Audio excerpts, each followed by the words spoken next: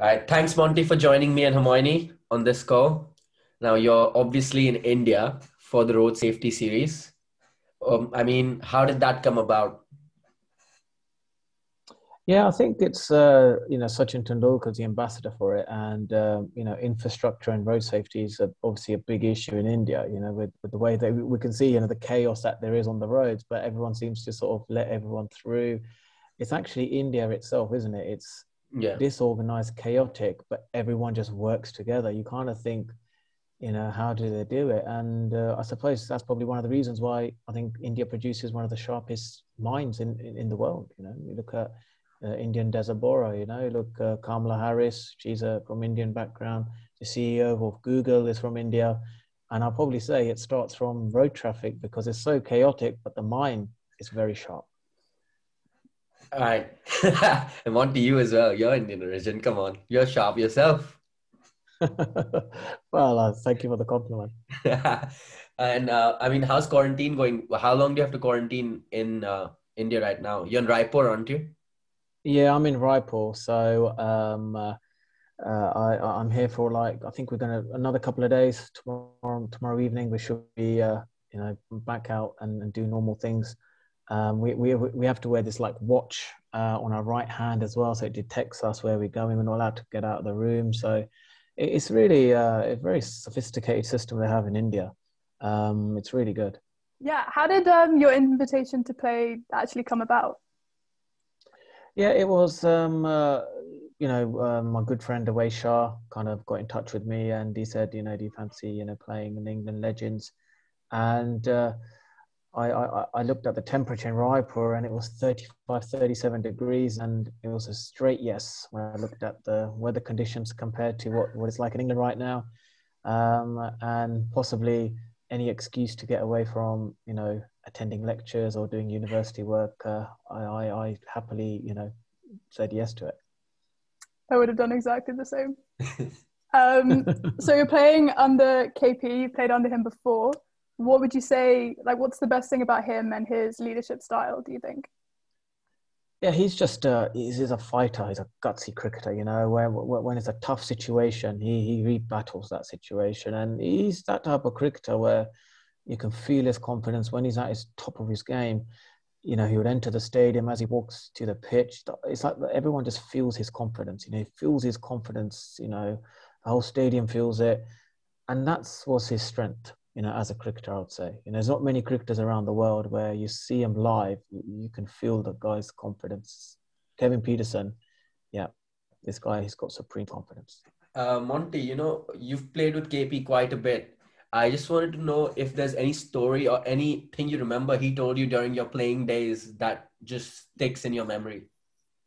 Yeah, he said to me, "You're a good runner." He goes, "You're a good runner. You're a good, good running partner." We used to do a lot of running together. We used to fitness, do the yo-yo test. I would always compete with him, and in a way, I kind of pushed him in a way. But I, I used to like be third or fourth, you know, like uh, he, would always beat me. But he, he was very, very fit, good runner, and uh, yeah, I guess. Uh, I enjoyed bowling to him in the nets. He used to smash me out of the park. And I remember when, uh, um, uh, I remember uh, actually when we were struggling during a you know Sri Lanka Test series, I think it was. We, we, we didn't do very well in the first test, and everyone just said to take your pads off, you know, and uh, and, and and bat with the bat, not with your um, with your pad. And he was just, just brilliant, you know. Every ball he would hit me, he would feet positions were magnificent. I got so annoyed. I thought I'm gonna just go ball fast at his legs, you know, just to hurt. You know, I couldn't like, and, and he was still battle that one out, and it was just a great, you know, that that was the, you know, that's that's what you do amongst, you know, like teammates. You you push each other and you have fun, and he was brilliant. It was it was, a great skill, and and I really really enjoyed sort of bowling to someone without their pads. So yeah. I guess you're looking forward to playing with him, not against him. Yeah, it'll be good fun. You know, it'll be a lot of fun. I think there's a, there's a lot of great memories there, and uh, and and there's some other cricketers here as well. You know, like some Matthew Hoggard, who I've played a lot with. Used to always say to me, you know, bounce, bounce, bounce. At the, you know, when I when I used to be uh, in in my run up at mid on, um, that was a lot of fun.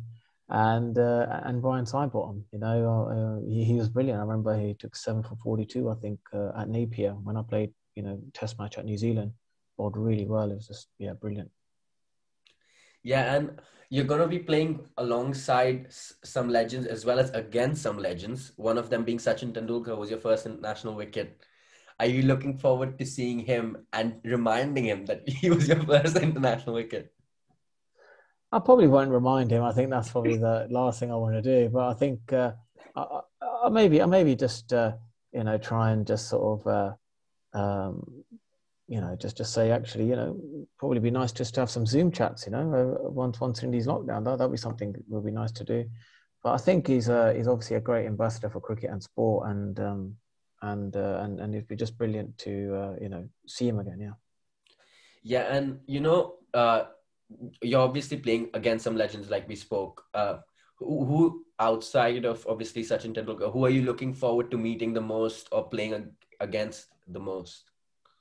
Yeah, look, I, I quite like you know obviously Brian Lara, I like his graceful approach. He's a he's a real nice guy as well. Tino Best is another you know good friend of mine who's uh, playing for the West Indies team. Um, uh, and there's I, I think there's, I think you Yuvraj Singh is going to turn up. So uh, gosh, he used to hit me for some big sixes. Um, yeah, I didn't like bowling to him.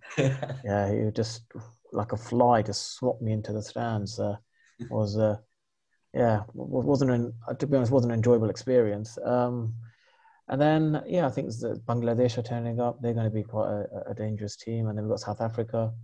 Um, you know, they, they'll be good as well. Yeah, and obviously you're playing in a new stadium in Raipur and they're expecting crowds at 50% capacity as well. So you're looking forward to playing in front of crowds again? Yeah, that'll be really good, you know, playing in front of crowds. Um, uh, you know, watching, uh, we haven't done, we haven't played for, for, a long time in front of crowds. So like 50% capacity, yeah, it's going to be fun. It's going to be, uh, it's something I think everyone's really excited and looking forward to. And what would you say is you've played a lot of cricket in India yourself. So what would you say is your favorite part about playing cricket in India? I think it's uh, it, it's it's just the crowd, the atmosphere.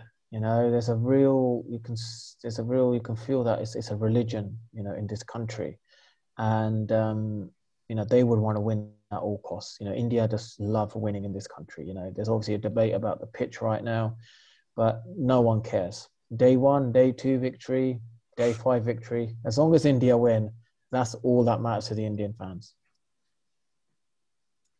That kind of takes us nicely onto the the India England Test series going on right now, which we can't not talk about. Um, what do you think about the chatter around the pitch? Do you think the criticism's fair? Well, it's a pink ball test match. I, I think you're allowed to have a one-off sort of you know test match like this. Um, I suppose we've had you know 15 wickets fall in a day in 2017 when England versus South Africa, you know, and that was a green pitch at pitch um, at Trent Bridge.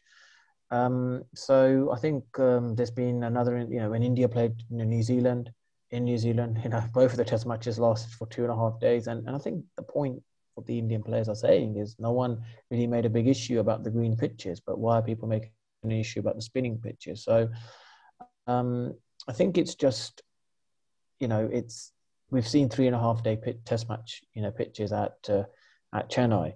So I think, in my opinion, um, you know, India being I think probably one of the one of the strongest sort of you know governing bodies in, in cricket, you, you probably think that you know maybe they should uh, you know they've qualified for the Test Championship, so um, this is probably a great opportunity, you know, maybe maybe to produce a flat pitch, but I know what the Indian fans are like and Indian sport. You know, if they know one way to win, then they will just keep producing a spinning track because they just here they love winning.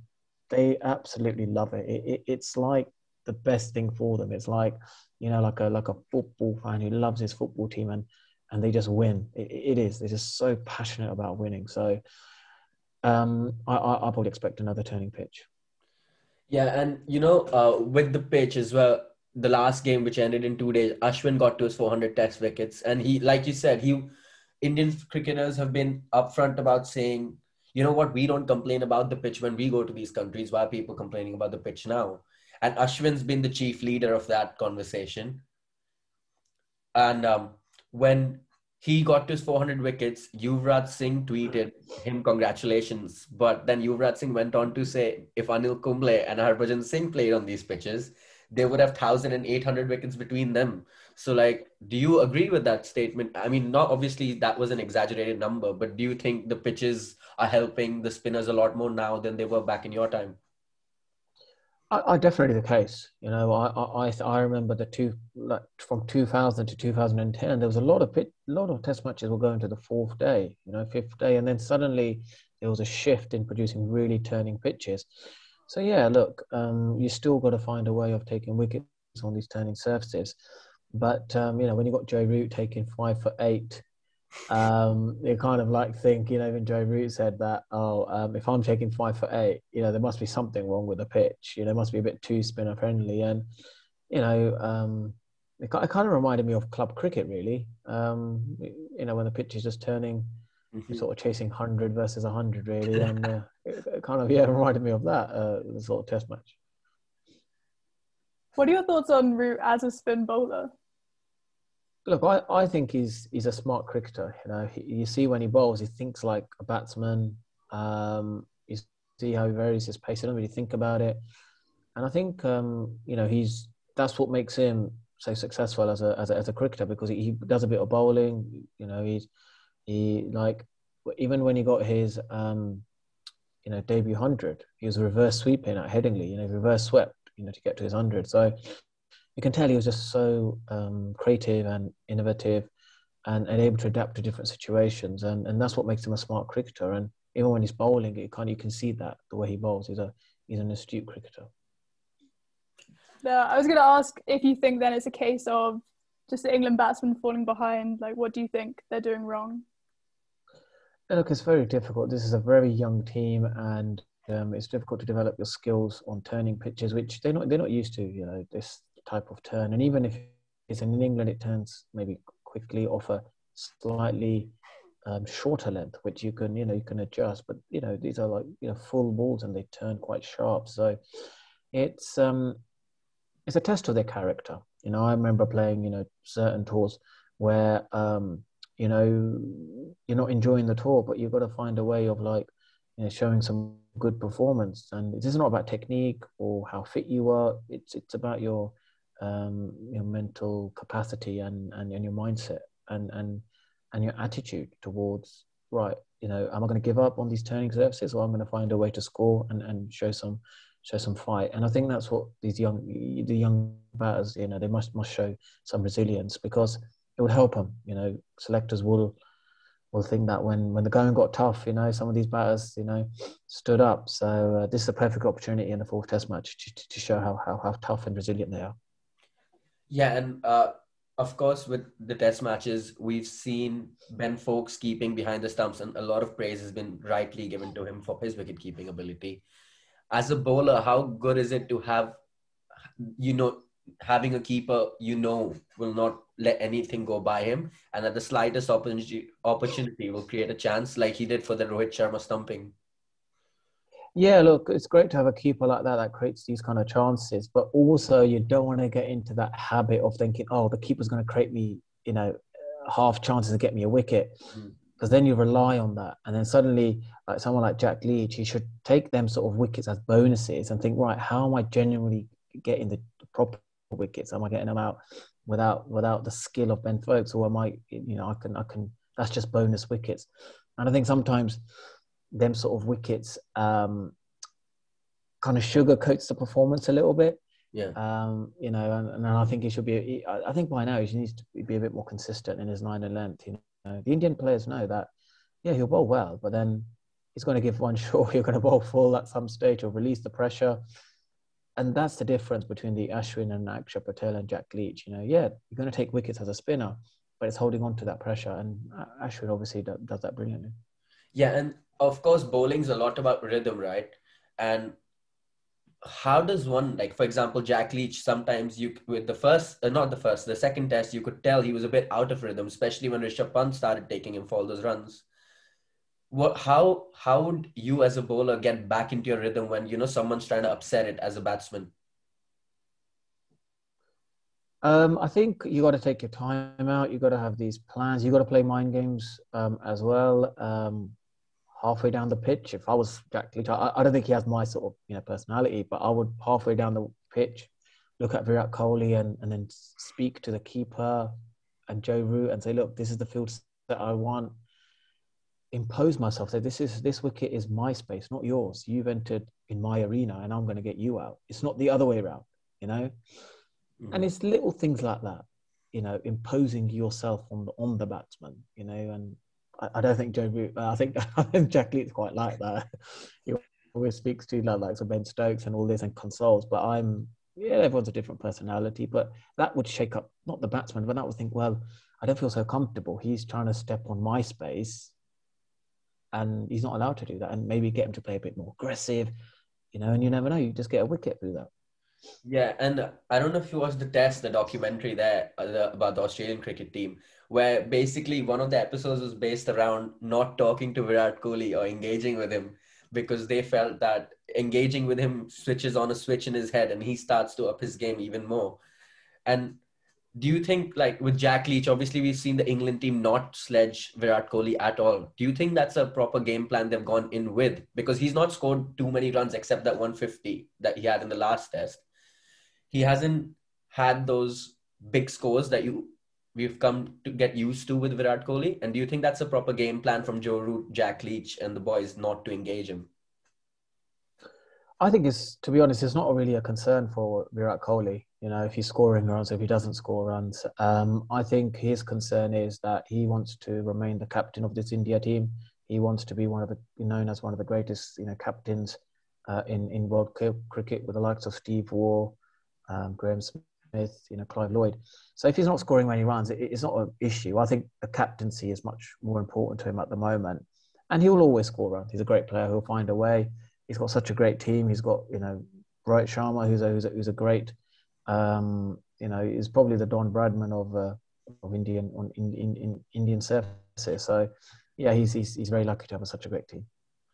Yeah, and with Virat Kohli's captaincy, obviously after the Australia when Rahane led India to victory at the Gabba, there was a lot of chatter about you know what is is captaincy the issue? It's always been a talk around the IPL when Virat Kohli doesn't win every season. It's Gautam Gambhir said it at the end of last season when the IPL happened that no captain goes nine years without winning the IPL and stays in the role. Do you think now the pressure started to mount on Virat Kohli, the captain, not the player, of course, but the captain, to start producing results? Well, I, I, I thought the second Test match he was under extreme pressure. They produced a turning pitch. It was very brave of him. If they lost that toss, I reckon England would have won that. That was 2 0, and that was the end of Virat Kohli captaincy you know. But they took a brave call and they won the toss, and you know they obviously. I think as a collectively as a team, the Indian team, I think they want Virat Kohli to remain as captain, and they and they did their best. You know, did a great job in doing that. Um, so um, you know, it, I'm sure Virat Kohli.